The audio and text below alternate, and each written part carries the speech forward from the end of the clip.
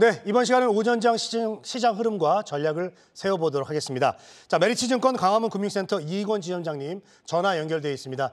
지점장님 안녕하세요. 네, 안녕하세요.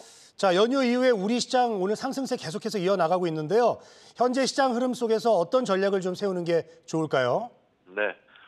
어, 연휴와 함께 5월 FMC가 끝났죠. 5월 FMC가 마지막 금리 인상일 것이다라는 가능성이 높아지고 기대감이 함께 증가되고 있습니다. 어, 이번 주에 발표될 미국의 CPI에서 어, 마지막 금리 인상이었을 가능성을 더 높여줄 것이라고 기대하고 있는데요. 어, 금, 마지막 금리 인상 이후에 금리 인하에 대한 감론을박이 많지만 저는 계속 지속적으로 강조드리는 바에 의하면 연준이라는 드라이버가 최종 금리라는 목적지를 가기 위해서 밟고 있었던 가속 페달, 즉 어, 금리 인상을 중단하는 것만으로도 저는 시장의 긍정적인 그 유동성 공급이라고 보여지고 있고요.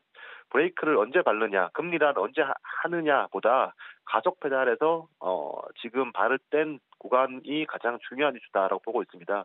어, 때문에 코스피 2,500포인트는 어, 작년 3월부터 아니 작년부터 올해 3월까지 강력한 저항선 어, 박스권의 상단으로 작용했는데요. 이제는 지지선 어, 박스권의 하단으로 작용할 것으로 전망하고 있습니다. 네.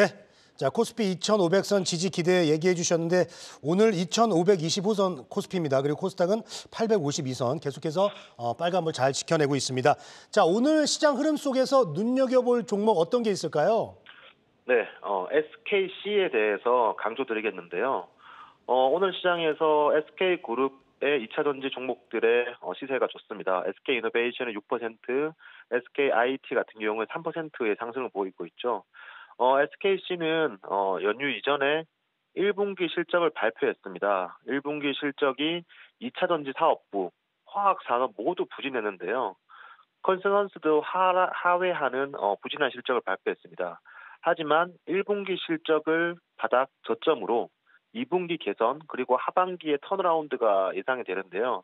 때문에 실적이 바닥을 찍고 turnaround 한다는 건 어, 저는 주가의 바닥도 이미 지났다라고 생각을 하고 있고요. 어, 실적을 파헤쳐 보면 동박 2차전지 동박 출하량은 확대가 되었습니다. 어, 신영증권 리포트에 따르면 QOQ로 6% 어, 확대 추정을 보고 있는데 하지만 외형은 성장했는데 비해서 어, 국내 전력비 인상으로 마진, 영업이익률이 0.7% 추정되는데요. 마진이 안 좋았기 때문에 2차 전지 사업부의 어, 이익이 좋지 않았습니다. 하지만 하반기에는 수익성이 높은 말레이시아 공장이 캐파가 가동이 되죠. 어, 말레이시아 공장 같은 경우에는 어, 이 전기료에 대해서 어, 변동비가 아닌 이제 고정비로 적용이 될 거기 때문에 어, 외형 확대와 수익성 개선이 함께 이루어질 것으로 보고 있고요. 어, 동사에 대한 포인트는 이 2차 전지 소재 어, 확대가 가장 큰 포인트라고 생각이 됩니다. 이미 동박 매출이 증가되고 있는데 올해 34%의 매출 비중에서 25년도에는 56% 수준까지 늘어날 것이고요.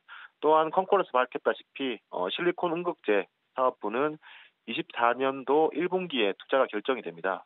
그리고 어, 시장의 기대를 모으고 있는 glass 기판 또한 24년 어, 2Q의 양산을 시작할 것으로 보여지고 있고요.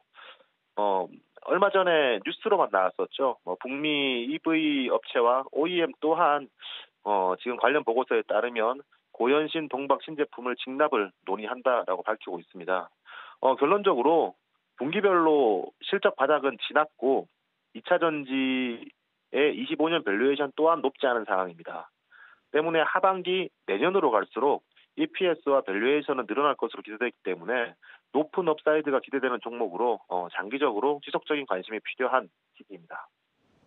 네, 알겠습니다. 오늘 시장 흐름 그리고 전략 그리고 관심 가져볼 종목으로 SKC를 이야기를 좀 해주셨습니다.